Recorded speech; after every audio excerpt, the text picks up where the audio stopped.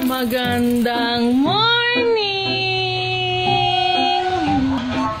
Walang pasok pala si Dada ngayon, kaya naisipan naming maglaba. Habang good mood pa si Holly, tutulungan ko na si Dada, kaya nilagay ko muna siya dito sa high chair. O diba, buti na lang tong batang to marunong maghintay kapag may ginagawa kami. After ko magbanlaw, pinaliguan ko na din pala si girl at ayaw niya pang matulog, kaya binalik ko muna siya ulit sa upuan niya. Linis na din pala ako dito sa kwarto dahil sobrang alikabok na. Nagmap na nga din ako, o diba, bongga, hindi na mano-mano for today's video. Pasok ko muna kasi sa kwarto tong foam namin para malinisan din dito sa sala. After na nakatulog na din pala si Holly. Kaya naman nagsampay na din ako at si Dada naman naglilinis ng electric fan. Oo naman, nasisipag for today's video. After nun, tinupi ko na din tong playpen ni Holly. Every week ko lang pala siya nalilinisan kasi hindi ko kaya ng araw-araw. At ayan, walis-walis na tayo. Di ba lumuwag na ulit dito sa sala. Syempre, nagmap na din ako. Yung gamit ko palang map, yung iMap ng pamilya. O mga mare, may link sa bio ko ha. Dada naman, hawak niya lang si Holly sa labas at may nakausap pa nga siya ka-grab driver niya. Tapos, pinunasan ko na din pala tong playpen ni Holly. May mga part kasi dito na sobrang maalikabok. After naman sa labas, dito naman sa loob yung pupunasan ko. Sabi pala ni Dada, itry daw namin i-open yung playpen para makapag-walker si Holly. Tignan nyo naman kung gaano ka-hyper tong batang to.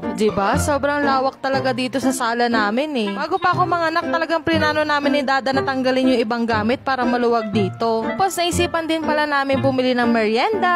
Magmamotor lang kami para mabilis yan. Tinatanggal lang ni Dada yung grab bag niya para makasakay kami. Bumili lang pala kami ng burger dito malapit sa school. Bumili lang din kami ng mango graham shake. Tapos sabi ni Dada bumili din daw kami ng tinapay dito sa bakery. Yun lang for today's video.